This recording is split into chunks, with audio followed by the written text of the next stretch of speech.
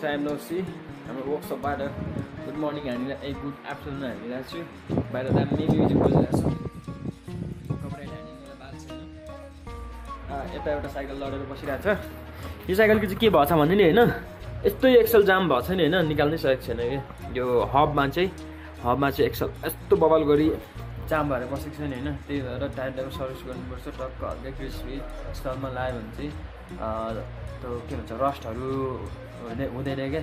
Rust पुरै खियै खिया भएर जाम भएर अड्केर बसिरहेको छ। यो माल चाहिँ अब यसलाई निकाल्नु सकेन अब के हुन्छ थाहा छैन आइडन्ट नो यस्तो भइसकेको छ।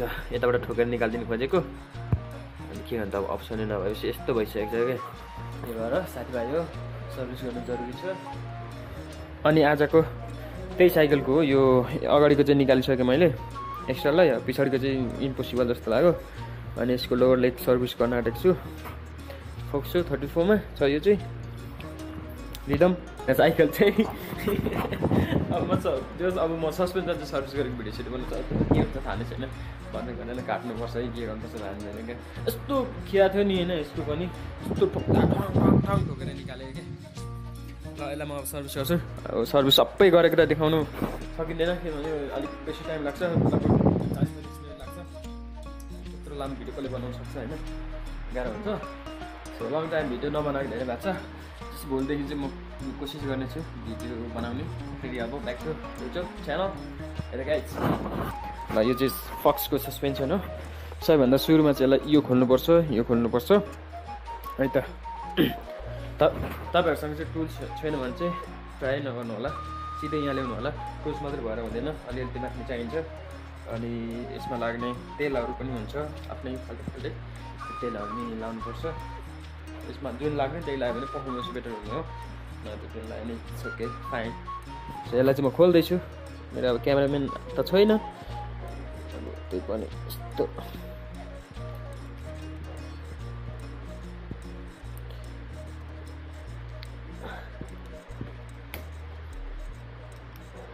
आफ्नै त हो नि यसलाई यस्तरी यहाँ राखौँ यसलाई टक्क यो पेपरलाई पनि यस्तरी च्याप्छु है म। ठक्क अब यहाँनिर सामान राखेपछि सेतोमा ठ्याक ठ्याक देखिन्छ कि कहाँ सामान छ भनेर। You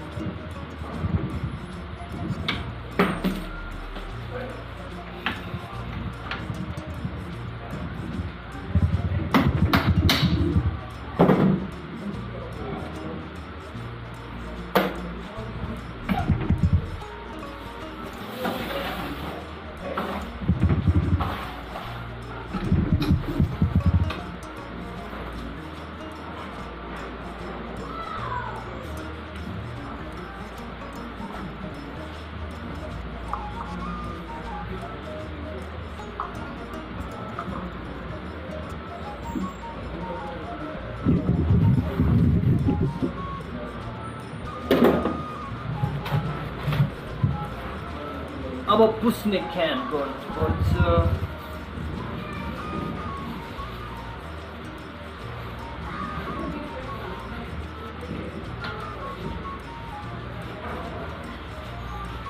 Ah, right. Actually, my leg is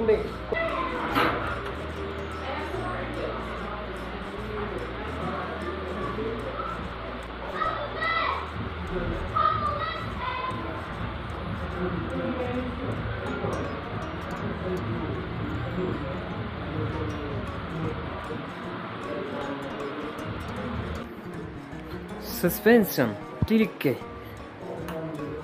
टिलिक्कै suspension टिलिक्कै यो एयर साइड भइहाल्यो त्यहाँबाट side everything is ready suspension oil ठ्याक ठ्याक ठ्याक हालिदिउँ अब थोरै मिलाएर चट्ट पारेर चिटिक्क पारामा होइन त्यसरी गरेर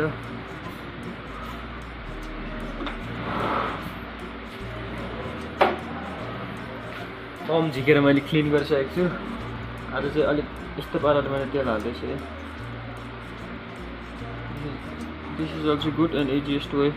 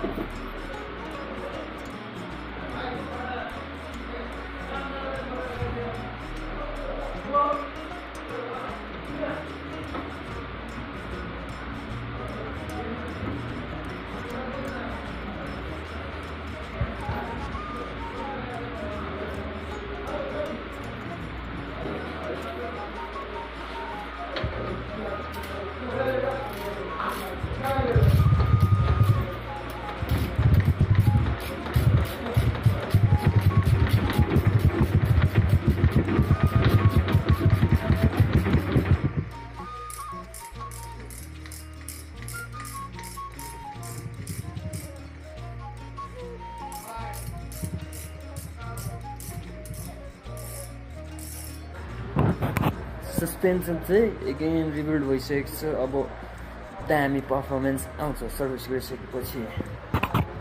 आई के भन्छ अरे?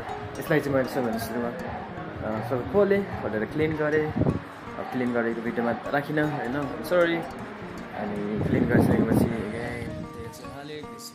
हाल्नुपर्ने पनि सबै हालेँ। एन्ड एगेन ब्याक लेग्स हालेर टाइट गरिसकेको छु। सस्पेन्सन देख्न सक्नुहुन्छ। सस्पेन्सन रेडी भइसकेको छ। Thank so much